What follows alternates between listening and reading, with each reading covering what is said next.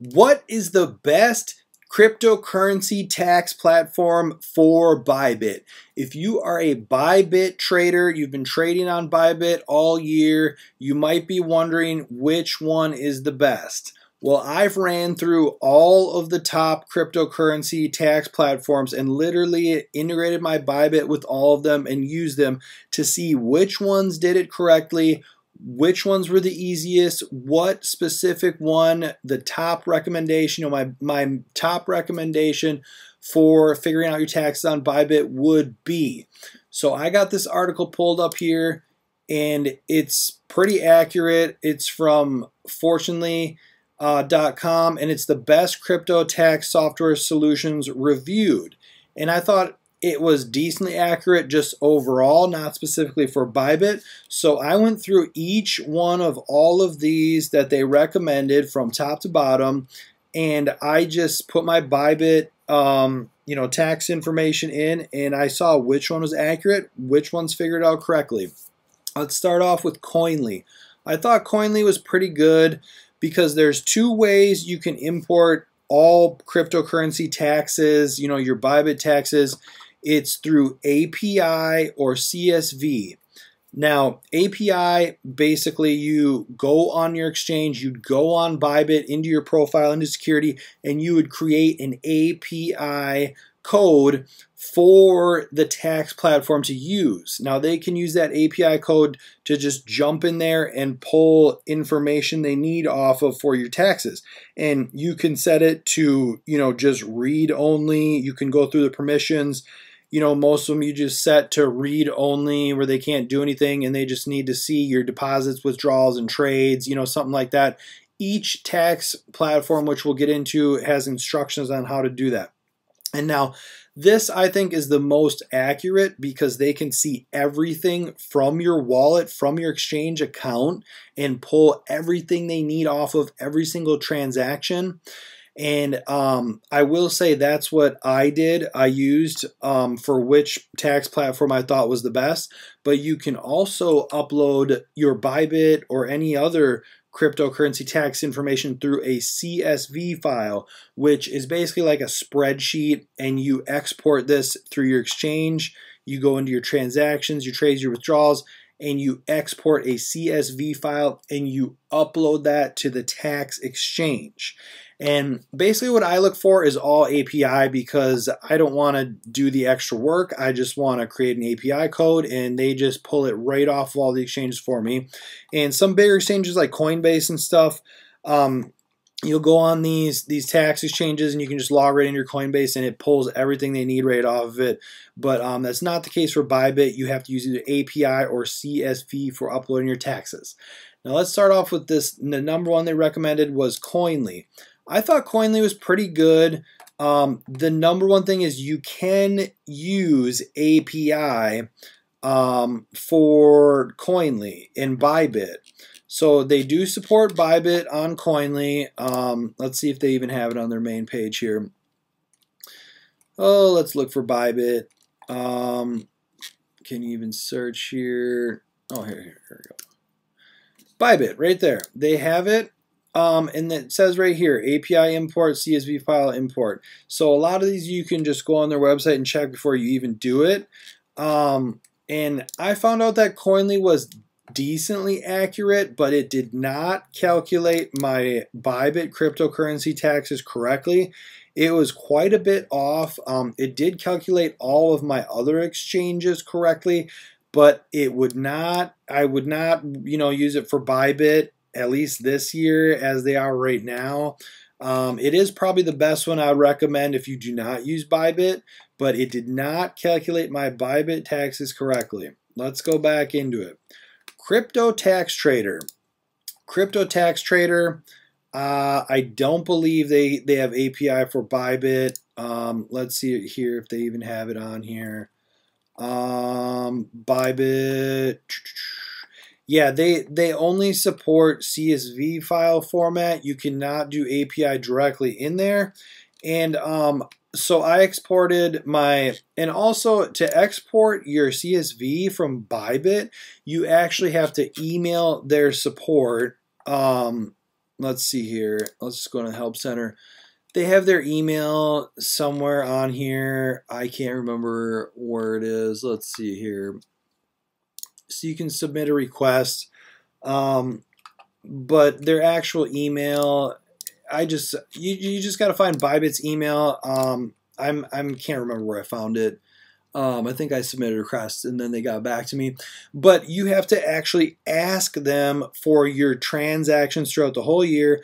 Tell them which, um, you know, what coins or all coins and the dates and everything because you can't export the entire year on Bybit. You can only do like three months at a time. So you actually have to contact Bybit if you want to do it the CSV way. It's kind of a pain, and then they email your CSV. You know, they're pretty good about getting back to me but um, I just don't quite trust that. You know, I want a direct API integration, um, but I did upload my CSV on Crypto Tax Trader and it was wrong. They did not do it correctly. It was pretty far off for Bybit. Um, they did all my other exchanges correctly, but not even close for Bybit. And it's only CSV, it's not API and CSV. So I would not use Crypto Tax Trader. Let's go on Crypto Tax Calculator. Now I tried Crypto Tax Calculator out. And let's check out Bybit here. Um, they have Bybit, and I believe, let's see, yeah, they only support um, support it through CSV. Let's see here. Oh no, never mind. They did have they did have API and CSV. Um, and I tried this about a week ago. I ran through all these. It took me quite a while, so I'm just going off my memory here. Um, but they did have API and CSV, so you can do it through either one. Um, but I found out that they were not accurate. It was not not accurate with calculating my Bybit taxes. And also, I will say that each one of these was quite a ways off, like completely different when I calculated my Bybit taxes throughout the exact same thing. I would enter my CSV, I'd upload it, you know, on each one of these, and they were all completely different. I do API, and it was completely different on all of these. So that, you know, was a major factor, obviously, in all of this. And I manually did it myself, went through all the transactions to see which one, you know, was was right, was correct. So crypto tax calculator I would not recommend for Bybit. It was not accurate. Now, now, now, let's jump on token tax. And I'll come right out and say it, guys. Token tax is my number one recommendation that I would recommend for Bybit. It was awesome. It is one of the more expensive at $200 um, for like 5,000 transactions or something like that. You can go over their, their pricing plans. This is the one I did right here, up to 5,000 transactions, $200. So it is one of the more expensive, but it calculated my Bybit taxes perfectly. And it has API and CSV. I did it through API. It took like five minutes or, you know, a few minutes to upload and calculate it all. It was absolutely great. And one major um, positive also about token tax is that when you do it through a CSV file, it doesn't just upload, they actually, their team actually goes through your CSV file and makes sure that it's uploaded correctly. They literally, right here, they do the work for you. And by the way, I don't get anything. I don't even think I got a discount on token tax. I'm just trying to save you some time because it saved me a lot of time and it actually did my Bybit taxes correctly. And um, you know, I got all my trades in there. A lot of them would only get like your deposits and withdrawals, you know, and wouldn't get any other gains, short-term gains, capital gains, anything like that. It would literally just say like your deposits, that's it.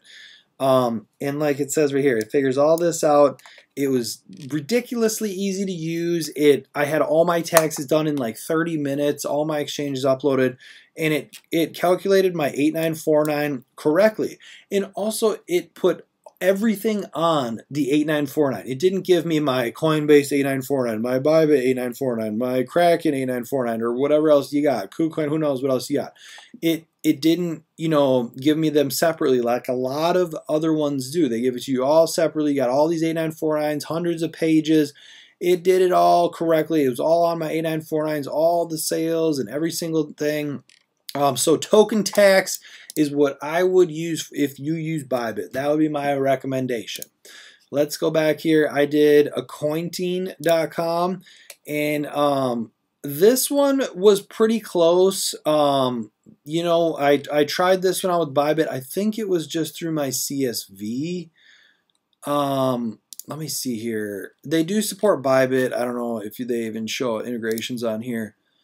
Um, let's see here. Bybit. They do support Bybit, and it's only through CSV. Um, let's see here. Sync your Bybit trades.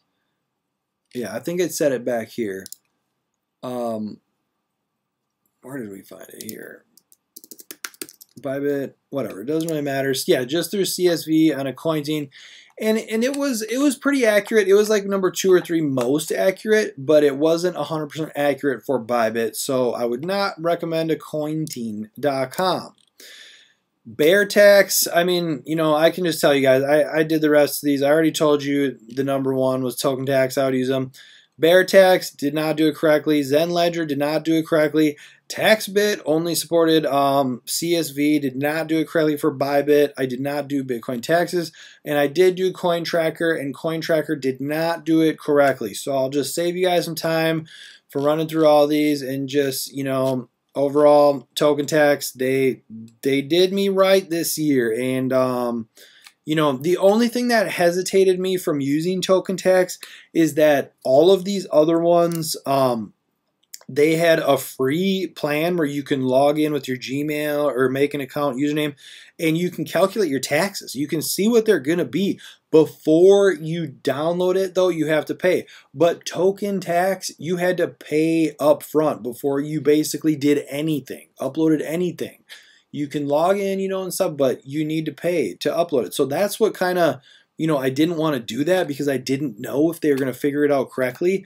But I just bit the bullet and um, you know I, I paid the $200 and just to see if they were accurate and um, it was and it's the one i'm going to use from now on every year so um, that is one negative you know that i have to say about token tax but the rest um, totally positive you know and they do have a cheap plan if you have less than you know not that many transactions so token tax token tax token tax for bybit guys direct api integration and that's the summary you know, of everything we've kind of went over in this video. So, um, like I said, please subscribe to my channel and smash up the like button, and I'll see you in the next video. Peace.